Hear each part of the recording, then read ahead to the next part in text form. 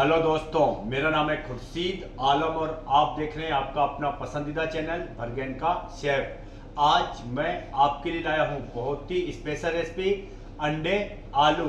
आज मैं आपको बताऊँगा आप आसानी से अपने घर में अंडे, आलू करी कैसे बनाएँ, वो भी बहुत ही आसान तरीके से। आपने जब भी अंडे उबाल लें तो पहले आपने क्या करना है अंडों को धो लेना है। जैसे कि मैं अभी अंडे आलू करी के लिए अंडे उबालने वाला हूँ तो मैंने देखिए पानी में भिगा रखे अंडे तो मैं पहले इनको धो लूँगा। धो के आपको बताता हूँ आपने कैसे उबालने आपने अंडे धोने के बाद ऐसे एक सॉस पैन में पानी चढ़ाना है उसके अंदर ये देखिए इस तरीके से अंडे रख देना है प्यार से स्लो से ताकि आपके अंडे टूटे ना। ऐसे रख दें आप।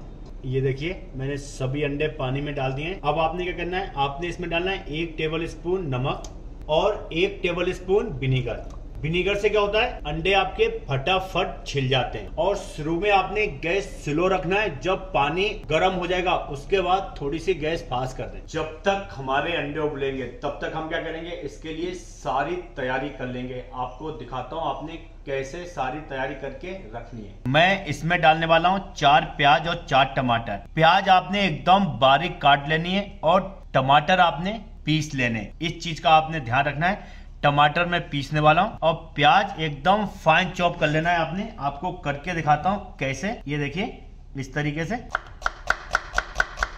आपने नाइफ है ना, एकदम पास ऐसे चलाना है, क्योंकि मैंने ना फाइन चॉप करना है। इसलिए आपको बता रहा हूँ, एकदम ऐसे ही देखिए, एकदम पास चलाने से क्या होगा ना, एकदम फाइन चॉप होगी प्याज। तो आपने प्याज एकदम फाइन चॉप करना है आज। ये देखिए, इस तरीके से, ऐसे।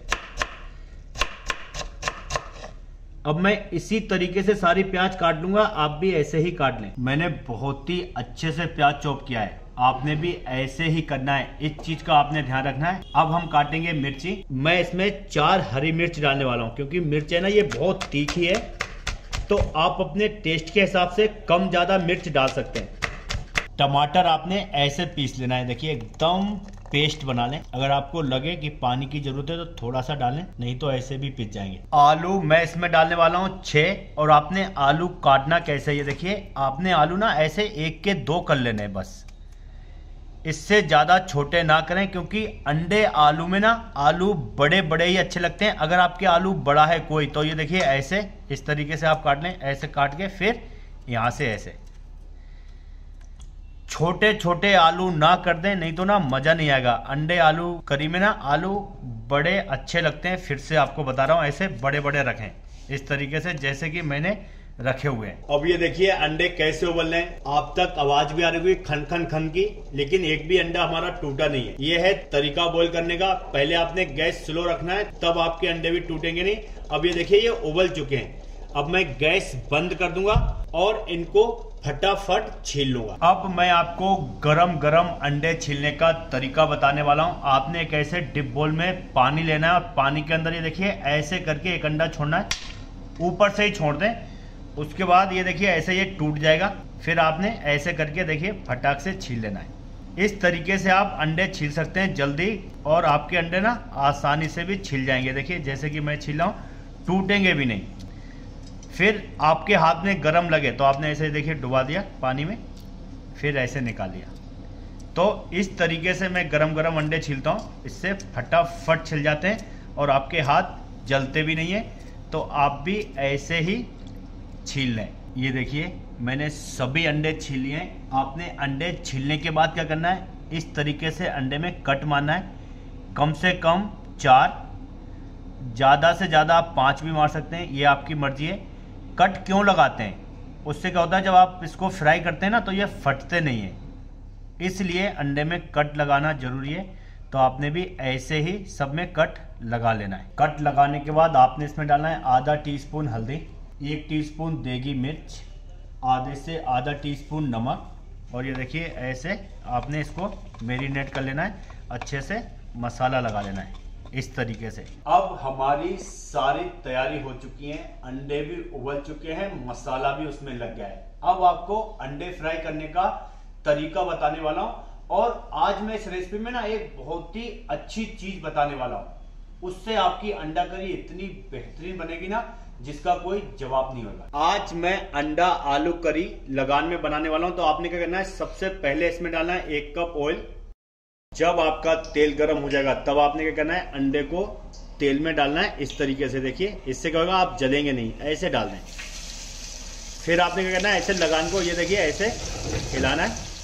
उसके बाद सिलासर से ऐसे प्यार से चलाएँ और आपने थोड़ा दूर रहना है। अंडे में कट लगने के बाद भी कभी कभी फट जाता है तो आप जल सकते हैं। तो आप थोड़ा सा अपने आप को बचा के भी रखें। इस चीज़ का आपने ध्यान रखना है।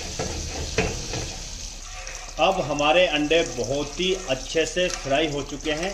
कलर आ चुका है एकदम लाल। अब आपने क्या करना है? इनको आपने निकाल लेना है। अब जो मैं आपको बताने वाला था ना, जिससे आपके अंडे आलू बहुत ही बेहतरीन बनेंगे, वो ये था, इस तेल में आपने आलू डाल देना इसीलिए आज मैंने एक कप तेल डाला। आप ऐसे आलू डाल दें। और आलू भी आपने हल्के से फ्राई कर लेना है इसी तेल के अंदर। अब जो टेस्ट आएगा ना, आपको मज़ा आ जाएगा। आपने जितने बार भी अंडा आलू करी बनाई होगी ना, ये सबसे अलग बनेगी। ये मेरा आपसे वादा है, बहुत ही मज़ेदार बनेगी। आप अगर ऐसे आलू फ्राई करेंगे इस तेल के अंदर, तब इसका फ़ायदा क्या होगा आप कई बार अंडा आलू बनाते हैं और आपके आलू टूट जाते हैं और कई बार ना अजीब से दिखते हैं आलू सफ़ेद सफ़ेद जब आप ऐसे फ्राई कर लेंगे ना तो आपके आलू टूटेंगे नहीं और बहुत ही अच्छे दिखेंगे।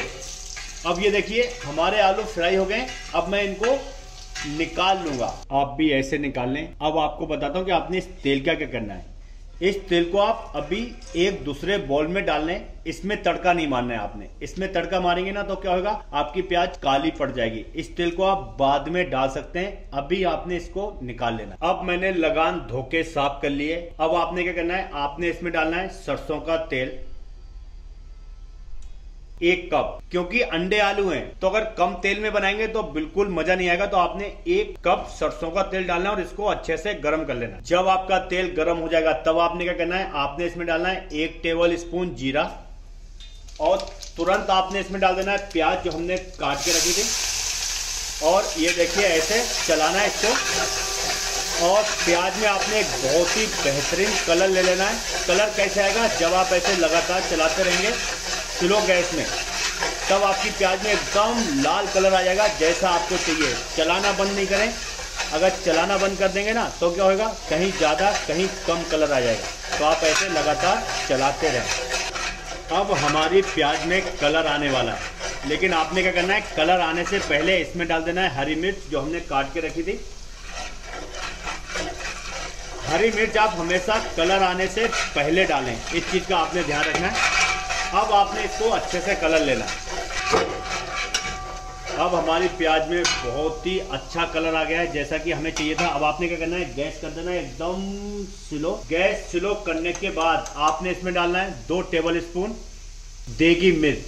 इससे बहुत ही बढ़िया कलर आएगा और आपने डालना है आधा टेबल स्पून हल्दी, ये देखिए, ऐसे डालें। ऐसे डालने के बाद आपने देखिए, ऐसे एक बार चलाना है। हल्का सा चलाएँ और तुरंत आपने इसमें डाल देना है दो tablespoon ginger garlic paste अब आपने इसको थोड़ी देर ऐसे पकाना है ताकि जिंजर गार्लिक पेस्ट भी अच्छे से पक जाए। इस तरीके से जैसे कि मैंने पकाया। और अब आपने इसमें डाल देना है टमाटर, जो हमने पीस के रखे थे। अब ये देखिए, टमाटर को आपने ऐसे चलाया। थोड़ी सी देर इसको पकाएँ, एक से दो मिनट। ताकि टमाटर का जो खट्टापन है ना, वो कम हो जाए, चला जाए। ऐसे आपने पकाना है थोड़ी देर टमाटर। जब आप इस तरीके से थोड़ी देर टमाटर पका लेंगे, तब आपने क्या करना है? आपने कर देना है गैस एकदम स्लो। के बाद आपने क्या करना है? आपने इसमें डालने हैं सभी मसाले। एक टेबल स्पून जीरा पाउडर, एक टेबल स्पून गरम मसाला, दो टेबल स्पून धनिया पाउडर, एक टेबल स्पून नमक और आधा टेबल स्पून कसूरी मेथी पाउडर। ये सारे मसाले डालने के बाद आपने देखिए, ऐसे हल्के से इनको भूनना है। हल्के से। जैसे कि मैंने भूने, उसके बाद आपने इसमें डाल देना है आलू, जो हमने फ्राई करके रखे थे। और आलू डालने के बाद आपने इसमें तेल डाल देना है, जो बचा हुआ था। ये देखिए इससे क्या होगा ना, ये मसाला अच्छे से पक भी जाएगा और अंडे की ऐसी खुशबू आएगी ना ज़बरदस्त, जिसकी कोई हद नहीं। अब आपने गैस चालू करनी है। और आलू और मसाले को ऐसे अच्छे से भूनना है। मतलब बहुत ही अच्छी तरीके से ऐसे पकाना है, जैसे कि मैं पका रहा हूँ। कम से कम आपने ऐसे दो से तीन मिनट तक इसी तरीके से भूनना है, जैसे कि मैं भूना अब आपको पता ही चल गया होगा कि ये स्पेशल रेसिपी क्यों है और क्यों आपको मज़ा आने वाला है। जब आप अभी आलू की शकल देखेंगे ना तो इतनी प्यारी हो जाएगी ना। जब शकल इतनी प्यारी होगी तो समझो टेस्ट कितना प्यार होगा। ये देखिए। आ रहा है ना मज़ा देखने में? ऐसे ही आपने भूनना है। अब आपने क्या करना है? आपने इसमें डालना है पानी। पानी आप कम से कम चार से पाँच कप डालें। फिर आपने ऐसे चलाया।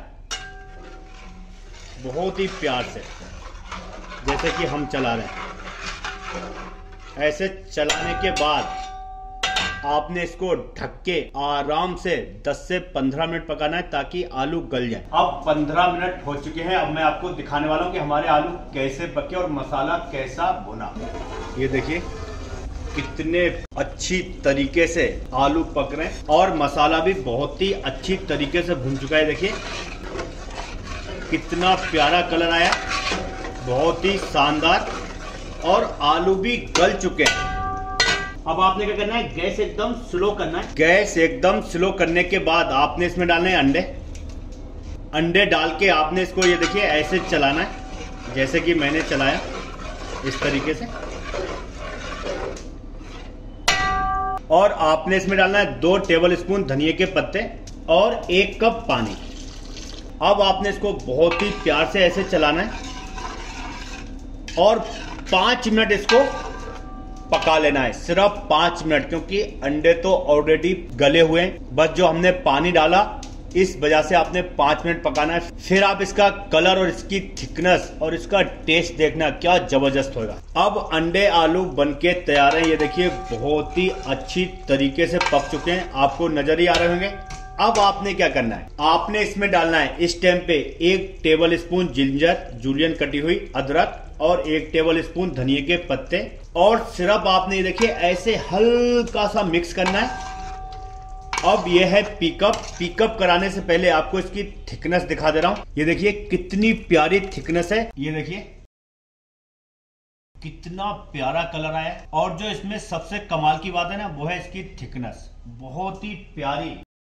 और आज के अंडा आलू में जो सबसे खास बात है, वो ये है कि आलू में भी बहुत ही अच्छा कलर आ चुका है। आलू में कैसे कलर आया है, ये मैंने आपको तरीका बताया हुआ है, आपने भी ऐसे बनाना है और मुझे कमेंट करके ज़रूर बताना है कि आपके अंडा आलू कैसे बने। अब इसकी गार्निश क्या रहेगी? गार्निश में आपने इसमें डालना है धनिए के पत्ते और थोड़ी सी अदरक। अगर वीडियो पसंद आ गया है तो आपको पता है आपने क्या करना है, चैनल को सब्सक्राइब करना है, और हमारा वीडियो देखने के लिए थैंक यू